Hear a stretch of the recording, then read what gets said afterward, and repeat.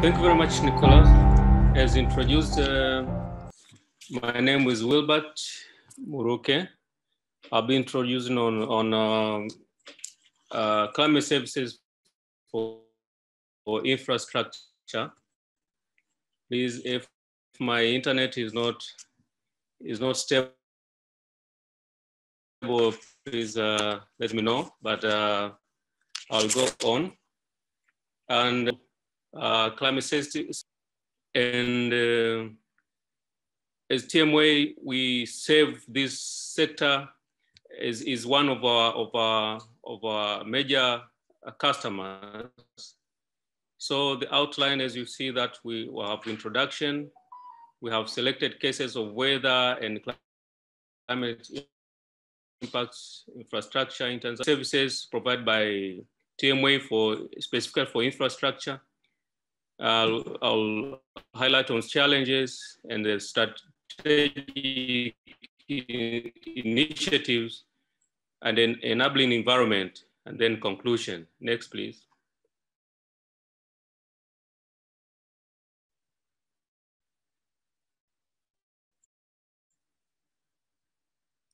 Yeah, as we starting uh, with all other sectors, we have infrastructure in energy, transport, agriculture, and so this is a crucial sector, which is a cross-cutting climate, climate and weather information is a, of paramount import, importance to be considered in all levels of national investments or projects. Uh, however, infrastructure sector is one of the climate sensitive sectors vulnerable to weather and climate variability and climate change. Also, the vulnerability of the infrastructure is partly attributed to severe weather and uh, weather system among other factors and magnitude of uh, extreme weather and uh, climate events, including flooding, which have contributed skillfully in the destruction of infrastructure in, in the country. And uh, the damage of this infrastructure uh, as we know that it causes loss of life, property in any country there is uh, not weather and the climate services for infrastructure planning and management is critical and it's for its, for its sustainability for the disaster risk reduction. Next, please.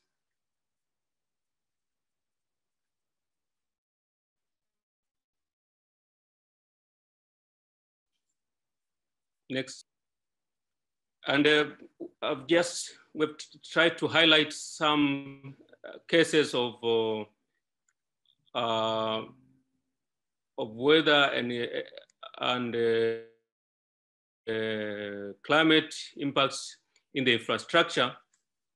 On the in the chart that there are some extreme events that some sometimes have caused disruption in the infrastructure uh, sector.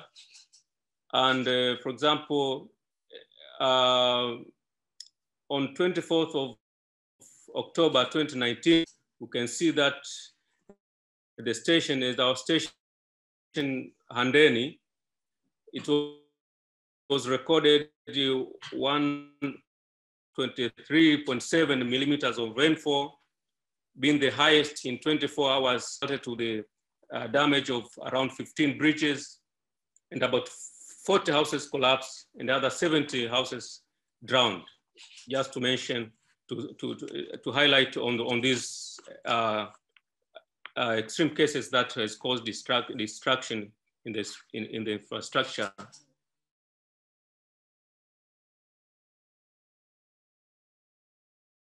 In, in, the, in, the, in the country. Next, please some extreme cases of, of, um,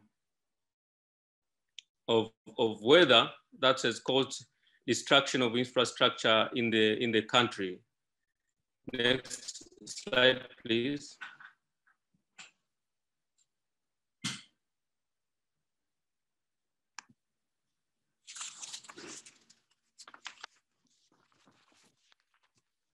Yeah, on, on climate services provide by, by technical information and product for infrastructure, provide also daily forecast. We have five days impact-based forecast. So uh, I was highlighting all the climate services provided by TMA for infrastructure services, for, for infrastructure development, uh, including climatological information and products for infrastructure planning. Can you hear me? Yeah, no problem. Yeah, we have also daily forecast, five days impact uh, based forecast. Next, please. Uh, also on the climate, uh, climate services provided by TMA for infrastructure development, we have uh, this seasonal forecast, which also was highlighted by my colleague yesterday. And during this National uh, Climate Outlook Forum, and during the development of the climate outlook, uh, we involve the, these sectors, including the infrastructure, and you can see the advisories to the infrastructure sector highlighted in this slide. And they also have tailor-made products, which include rainfall intensive, intensity frequency curve, which is very important for the design and the planning of infrastructure, including bridge and roads, road constructions. We, this uh, indicates the return periods. So it's a very good product for design and planning for this infrastructure in the country. Next, please. Um, we, we have challenges, some challenges that to also my colleague highlighted, including inadequate uh, data representation uh, due to the um, large area of our countries so that we need to increase uh, observation infrastructure to cover uh, most of our, our, our country so that we can have more data to save all the sectors, including the infrastructure. Also, we have limited awareness and capacity among users or decision makers on the role, application, and contribution of climate information on the sustainability of infrastructure. So we need to, we have this challenge that we have to have more people using our, our services in the infrastructure industry. Next, please and uh, some strategic initiatives that are, are, in place and enabling environment. These include development of the climate change strategy. Dr. Mariki, excuse me, you have one minute left. Okay, thank you. I'm about to finish. Thank you. Uh, this strategy has been uh, uh reviewed. We have 2021 strategy. Um, we have enactment of TMA Act, Act number 2, 2019, which indicates that integration of meteorological information in designing and planning of uh, structures is mandatory.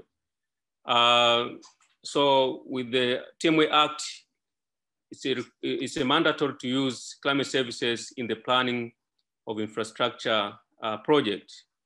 Uh, among the other strategies can be seen on the slide. Next, please. In conclusion, we say that infrastructure is one of the climate sensitive sectors vulnerable to climate variability and change. So enhancing climate services for infrastructure, for infrastructure is among the policy level priorities in, in, for, for us. A good progress has been made by the government enhancing climate services to ensure sustainability of infrastructure in the country. And the existing capacity gaps needs to be further and addressed for enhanced climate services to the infrastructure sector.